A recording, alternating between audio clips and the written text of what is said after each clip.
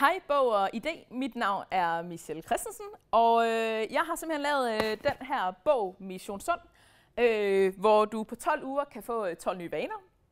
Og øh, det er en skøn bog, synes jeg jo selvfølgelig selv, hvor der er masser af madopskrifter i. Øh, og det, der sådan er generelt med opskrifterne, det er, at der ikke er noget sukker i det, og der er ikke noget hvedemel, og så holder de dit blodsukker stabilt. Så du bliver sprængfyldt med energi, og så er de meget lettere at lave. Du kan vinde bogen, og det du skal gøre, det er, at du øh, hernede for, der skal du skrive til mig, hvor mange vaner skal du nå at få på de 12 uger.